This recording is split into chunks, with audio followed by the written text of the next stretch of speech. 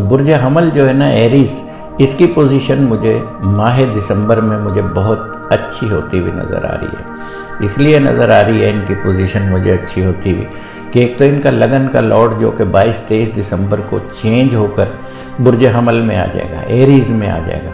चूँकि उसका अपना घर है, इसलिए वो बहुत ताकतवर हो जाता है। जब एरीज में आएगा तो बहुत ताकतवर हो जाएगा। अभी तो पाइसिस में है। लेकिन ये 22-23 दिसंबर को जैसे ही बुरज हमल में आएगा तो इनकी पोजीशन को मज़ीद मज़बूत बना देगा, मज़ीद ताकतवर बना देगा। और दूसरी बात यह है कि इनका जो दसवां घर है, उसमें जोहल और मुश्तरी का किरान पूरे महीने रहेगा। और सन, इनके जायचे में सूरज जो हमारे निज़ाम का बादशाह है, हमारे निज़ाम शमसी का किंग है सूरज,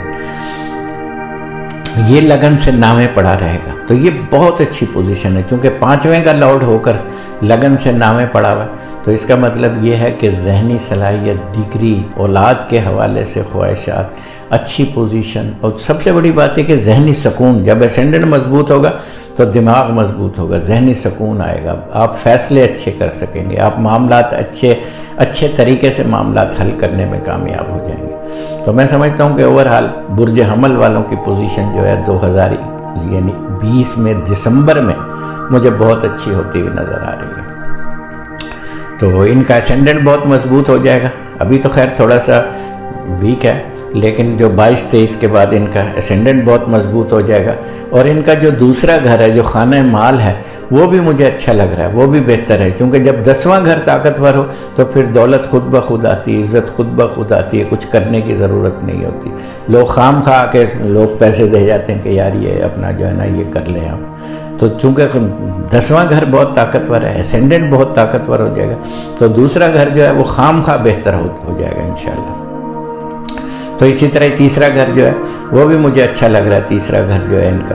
क्योंकि सन की पूरन नज़र है और मरकरी भी यहाँ रहेगा तो पूरा महीना रहेगा इसी में तो मरकरी की भी पूरी नज़र है। वीनस भी उठ के आ जाएगा।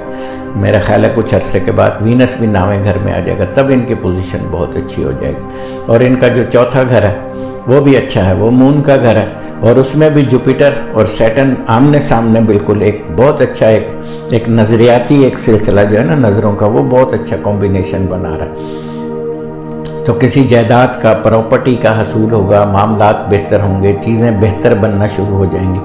तो ये महीना ओवरऑल मैं समझता हूँ, दिसंबर 2020 बुरज हमल वालों के लिए बहुत लकी साबित होगा। इन इसमें बहुत पैसे आएँगे, नया कारोबार, नए मामला नई नई सलाहियत, नया नया बच्चा, औलाद की खुशी मिलेगी इन ताला। और आपके किसी बच्चे की कोई डिग्री हो जाए, किसी बच्चे को अच्छी जॉब मिल जाए, किसी बच्चे को बैरून मुल्क जॉब मिल जाए, ये भी खुशी का समा होता है। तो इन ये काफ़ी बेहतर रहेगा।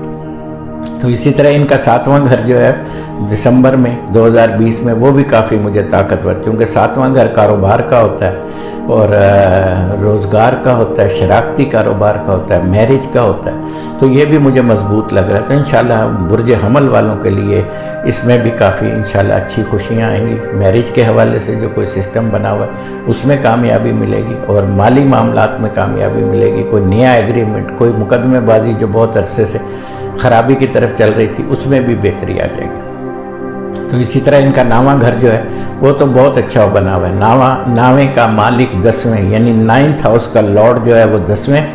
और सन नाइन्थ हाउस में रहेगा। पूरा महीना सन जो है वो नाइन्थ हाउस में रहेगा। क्योंकि ये 16 17 को शायद बुर तब्दील कर लेता है ना सन। लेकिन 16 17 18 दिसंबर तक सन यहीं रहेगा और उसके बाद और ज़्यादा अच्छा हो जाएगा। सन जो है वो दसवें घर में आ जाएगा। दसवें घर में और ज़्यादा अच्छा है इनके लिए, बुरज हमल वालों के लिए। वहाँ भी एक महीना रहेगा इन इनका।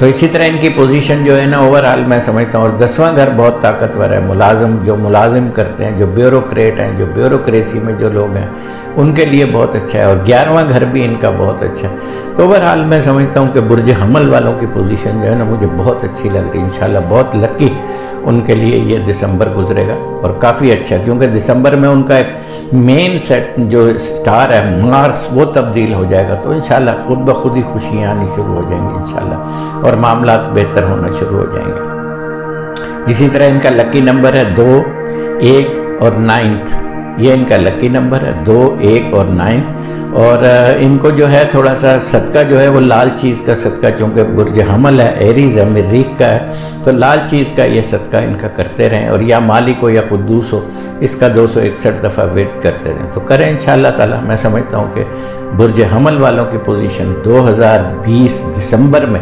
काफ़ी अच्छी और नई इंप्रूवमेंट है, नई प्रमोशन है, तरक्की है, नए मामला बेहतर होने जा रहे हैं, नए मामला बनने जा रहे हैं।